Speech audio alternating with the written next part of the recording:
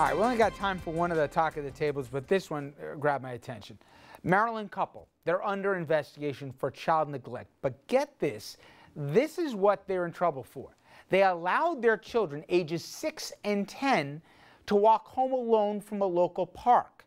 Now, these kids had a one mile walk. Now, the parents let them walk home. This is Silver Spring, so if you know Maryland, we're not exactly talking the hood here, okay? And when somebody in the neighborhood, it's always somebody in the neighborhood, they call the cops. The parents who are scientists, they call themselves free range parents. They're not doing themselves any favors doing that anyway. Uh, they say they're part of a movement that encourages parents to give the kids some space. Now, I'm not into this free range whatever they call it, but at age seven, I walk to and from school by myself yeah. with other kids, granted, but really by myself, no uphill both ways. That's what the funny uh, director had to say, Ralph. No, but almost a mile each way. And my point is, I was seven. There were right. two of them. There were ten and six. And again, this is Silver Springs. You're a Maryland guy. You know this is exactly. Right this is not inner city Baltimore. Okay. I grew up in Manhattan, and we took the subway and took the. My brother and I. We were that how age. How kids right now going to public school? You know how it works if you win the lottery. So some kids take three, four different subways to get somewhere when they're seven, eight years old. It's ridiculous. I mean, where are we going here? Where a kid can't walk a mile? Well, I will take the unpopular position, obviously, at the table tonight. I cannot figure out who's on they, what side here. They yeah. should be investigated, Richard. What, what because about, they said free range like a chicken, or because of no, what no, they no. did? But Richard, what, okay, what about the pedophiles that are out there?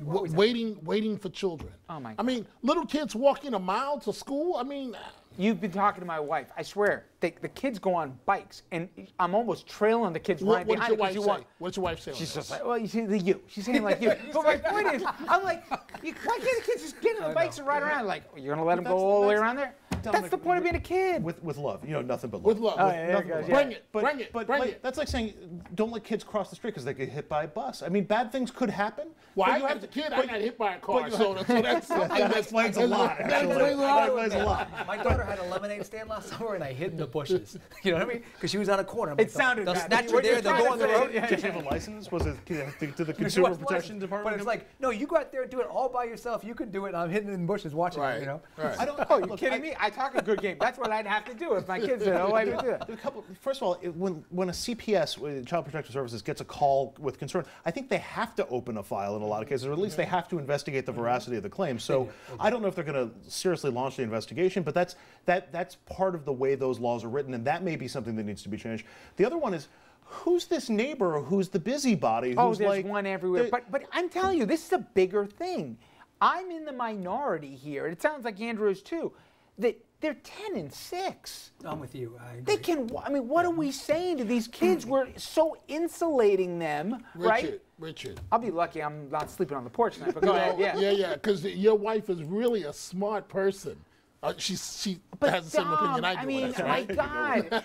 Think about the things as kids. But here's the false well, G- GPS. It wasn't safer when we were kids. Who's kidding No, you're who? right. It was worse. But and yet, we did it every day, and nobody's Richard- called Is it- indictments. But was it safer when we But were some of kids? these I'm nut jobs, More some of these nut jobs out here, it takes two seconds to snatch There a child, always sexually jobs. abuse them. I'm not saying walk home at 2 in the morning. I'm saying that, all right, all right, I'm not going to win A mile? A mile? You, you can't defend against everything. I mean, it's A mile, but that's a mile's not that far away. It's like, and we want kids to walk and exercise more. There is an obesity problem in this country. Walking a Why mile to and from me? school. Oh, because, God. because I'm On that point, let me get out. I want to give you a couple programming notes.